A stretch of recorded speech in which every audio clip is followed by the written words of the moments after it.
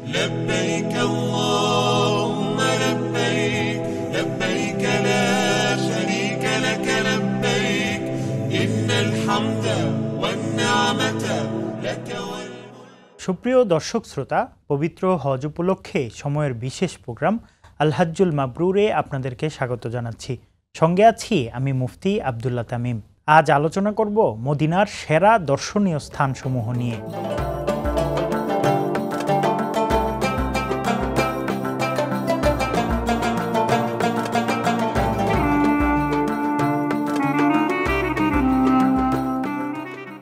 Medina প্রতিটি মুমিনের হৃদয়ের মণিকোঠায় অঙ্কিত নাম। এখানেই ঘুমে আছেন প্রাণের নবী। নবীজির রওজা মোবারক মদিনা শহরেই অবস্থিত। এই শহরের বেশিরভাগ জায়গাতেই নবীজির স্মৃতিচিহ্ন পড়ে আছে। মুসলমানদের কাছে এটি দ্বিতীয় পবিত্রতম শহর। মক্কার পরেই পৃথিবীর সবচেয়ে পবিত্র জায়গা হিসেবে মদিনা শহরকে সম্মানিত করা হয়েছে। মদিনা শহরের প্রাতিষ্ঠানিক নাম আল মাদিনা আল মোনাওয়ারা যার বাংলা অর্থ আলোর শহর। নবীর নামেও চিনে মানুষ। ইসলামের প্রথম রাষ্ট্র পরিচালনা শুরু হয় এই শহর থেকেই। নবীজি সাল্লাহ আলিহুসাল্লামের আগমনের পূর্বে এই শহরের নাম ছিল ইয়াসরিব। মদিনা শহরের মোট আয়তন চারশো পঁয়তাল্লিশ দশমিক পাঁচ কিলোমিটার বা দুইশো সাতাশ বর্গমাইল প্রাণের নবী হজরত মোহাম্মদ সাল্লাহ আলিহুসাল্লামের রজা মোবারক মদিনা শহরে অবস্থিত। প্রতিদিন হাজার হাজার ধর্মপ্রাণ মুসলিম মদিনা শহরে আসে নবীজির রজা মোবারক পরিদর্শন করতে।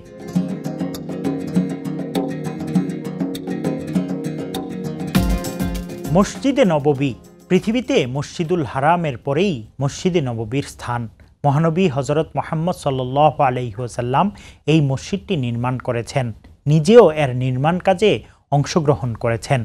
নবীজির মদিনায় হিজরতের পর এই মসজিদটি নির্মাণ করা হয়েছিল। রসুল্লাহ সাল্লাহ আলিহুসাল্লামের কবর জিয়ারত করার উদ্দেশ্যেই সকল হাজিরা মসজিদে নববীতে এসে উপস্থিত হন।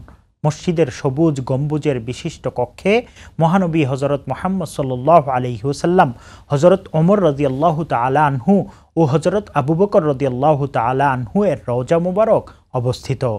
সবুজ গম্বুজ বিশিষ্ট এই কক্ষটি হজরত আয়সা রাদি আল্লাহ তালা আনহা এর ঘর ছিল। মুসল্লিরা সাধারণত হজের শুরুতে বা শেষে মসজিদে নববীতে এসে অবস্থান করেন।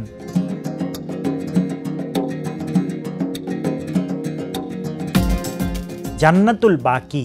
মদিনা শহরে অবস্থিত একটি ঐতিহাসিক কবরস্থান জান্নাতুল বাকি। এই কবরস্থান এর আরবি নাম হল মাকবারাতুল বাকি বা বাকিউল গারকাদ এখানে মহানবী হজরত মোহাম্মদ সাল্লাহ আলিহুসাল্লামের স্ত্রী, কন্যা, আত্মীয় স্বজন সহ অনেক সাহাবির কবর রয়েছে। হাজিগণ মসজিদে নববী অবস্থানকালে জান্নাতুল বাকিতে গিয়ে ইসলামের বিশিষ্ট ব্যক্তিবর্গের কবর জিয়ারত করেন।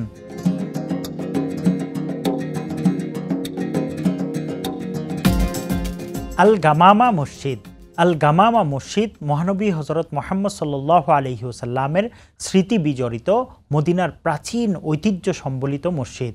খলিফা ওমর ইবনে আব্দুল আজিজের রাজত্বকালে ছিয়াশি থেকে তিরানব্বই হিজড়ির মধ্যে মসজিদটি নির্মাণ করা হয়েছিল।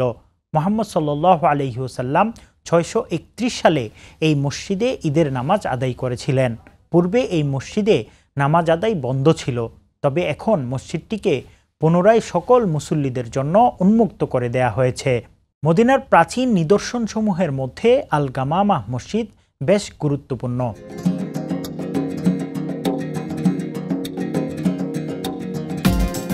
মসজিদে কুবা। মসজিদে কুবা ইসলামের সর্বপ্রথম মসজিদ। মদিনার কুবা নামক গ্রামে এই মসজিদটি অবস্থিত। সম্মান ও মর্যাদার দিক থেকে মসজিদে কুবার অবস্থান চতুর্থ। মক্কার মসজিদুল হারাম, মদিনার মসজিদে নববী এবং জেরুজালেমের মসজিদে আকসার পরেই মসজিদে কোবার অবস্থান। মহানবী হজরত মোহাম্মদ সাল্লাহ আলিহসাল্লামের মদিনা হিজরতের পর এই মসজিদটি নির্মাণ করা হয়। মসজিদটির ভিত প্রস্তুত হয়েছিল মহানবী সাল্লাহ আলিহসাল্লামের হাত ধরেই। মহানবী হজরত মোহাম্মদ সাল্লাহ আলিহসাল্লাম বেশ কিছুদিন এখানে অবস্থান করেছিলেন। মহানবী হজরত মোহাম্মদ সাল্লাহ আলহিহসাল্লামের স্মৃতি বিজড়িত এই মসজিদ দেখতে অনেক মুসল্লি কোবা গ্রামে চলে আসেন।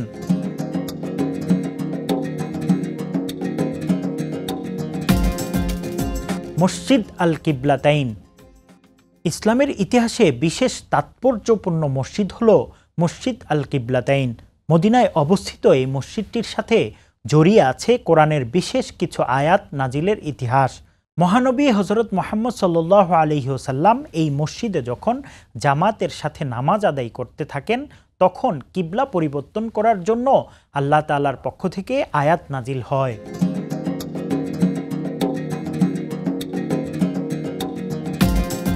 উহুদ পাহাড়।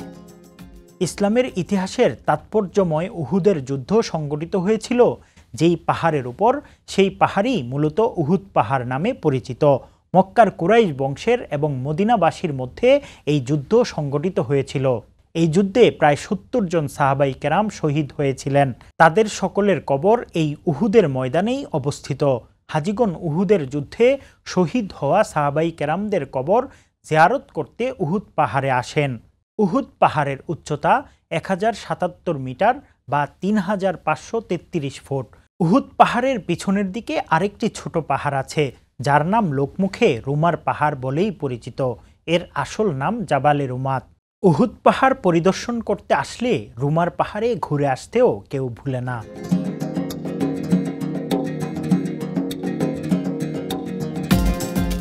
বাদশাহ ফাহাদ কোরআন প্রিন্টিং কমপ্লেক্স।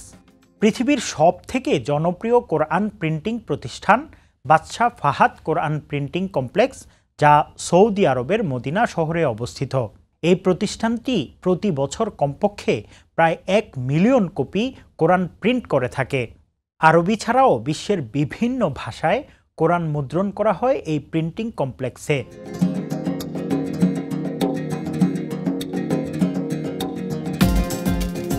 ওয়াদিয়ে জিন। ওয়াদিয়ে জিন বিশেষ এক অলৌকিক ক্ষমতা সম্পন্ন উপত্যকা।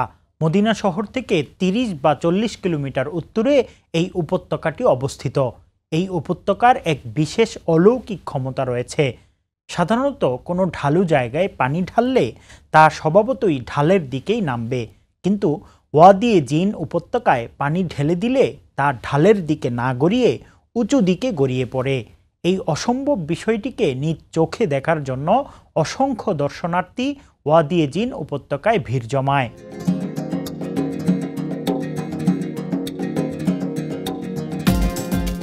খন্দক। পঞ্চম হিজিরি মোতাবেক ছয়শো সাতাশ খ্রিস্টাব্দে সংঘটিত হয় খন্দক যুদ্ধ। এ সময় সাতাশ দিন ধরে আরব ও ইহুদি গোত্রগুলো মদিনা অবরোধ করে রাখে। জোট বাহিনীর সেনা সংখ্যা ছিল প্রায় দশ হাজার।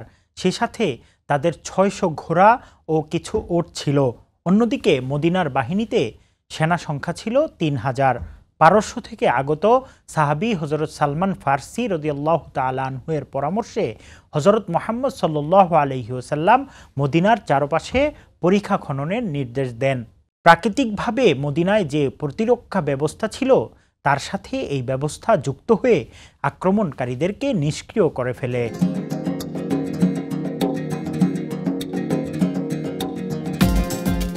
সালমান ফার্সি রদিয়াল্লাহ তালা আনহু এর বাগান। সালমান ফার্সি রদিয়াল্লাহ তালা আনহু বলেন রসুল্লাহ সাল্লাহ আলহিহসাল্লাম আমাকে বললেন, হে সালমান, তুমি তোমার মালিকের সঙ্গে দাসত্ব মুক্তির ব্যাপারে চুক্তি করো। আমি তার সঙ্গে তিনশো খেজুর গাছের চারা, ফলদায়ক হওয়া পর্যন্ত গর্তে পানি দেওয়া এবং চল্লিশ উকিয়া আদায় করার বিনিময়ে চুক্তি করলাম। এরপর রসুল সাল্লাহ আলী সাহাবিদের বললেন তোমরা তোমাদের ভাইকে সাহায্য করো। সাহাবিরা আমাকে খেজুর গাছের চারা দিয়ে সাহায্য করলেন। এক ব্যক্তি তিরিশটি চারা দিলেন। আরেকজন বিশটি, অন্যজন পনেরোটি, আরেকজন দশটি চারা দিলেন। অর্থাৎ প্রত্যেকেই সামর্থ্য অনুযায়ী আমাকে সাহায্য করলেন। এক পর্যায়ে আমার তিনশো চারা হয়ে গেল। এরপর রসুল্লাহ সাল আলী হুসাল্লাম আমাকে বললেন, হে সালমান, তুমি যাও এবং এগুলো রোপণ করার জন্য গর্ত খনন করো। যখন শেষ করবে, তখন আমার কাছে আসবে। আমি নিজ হাতে তা রোপণ করব। যে বাগানের কথা হাদিসে এসেছে সেই খেজুর বাগানটি এখনও রয়েছে। সেই বাগানটি দেখতে যান হাজিরা। এছাড়াও আরও অনেক দর্শনীয় স্থান রয়েছে মদিনায়। মদিনার কেন্দ্রীয় খেজুর মার্কেট, ইজাবা মসজিদ, আবু বকর মসজিদ সহ আরও অনেক কিছু। প্রিয় দর্শক শ্রোতা, সৌদি আরব থেকে সেখানকার অবস্থা জানাচ্ছেন সময় সংবাদের সৌদি প্রতিনিধি আরিফুর রহমান।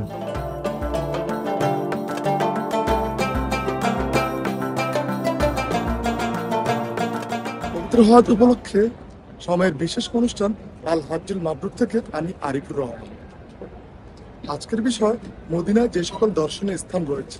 আমরা জানি, মদিনায় মসজিদ নবীর পাশাপাশি বেশ কয়েকটি দর্শনীয় স্থান রয়েছে।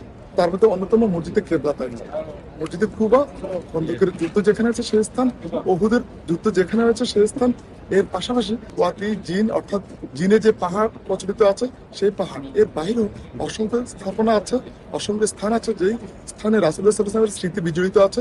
এই স্থানগুলো কিন্তু দেখার জন্য পৃথিবীর বিভিন্ন প্রান্ত থেকে মুসলমানরা এখানে আসেন এবং রাসুল্লাহ সাল্লামের রজা মোবারকের পাশাপাশি অন্যান্য যে গুরুত্বপূর্ণ স্থানগুলো আছে, সেগুলো কিন্তু তারা দেখেন।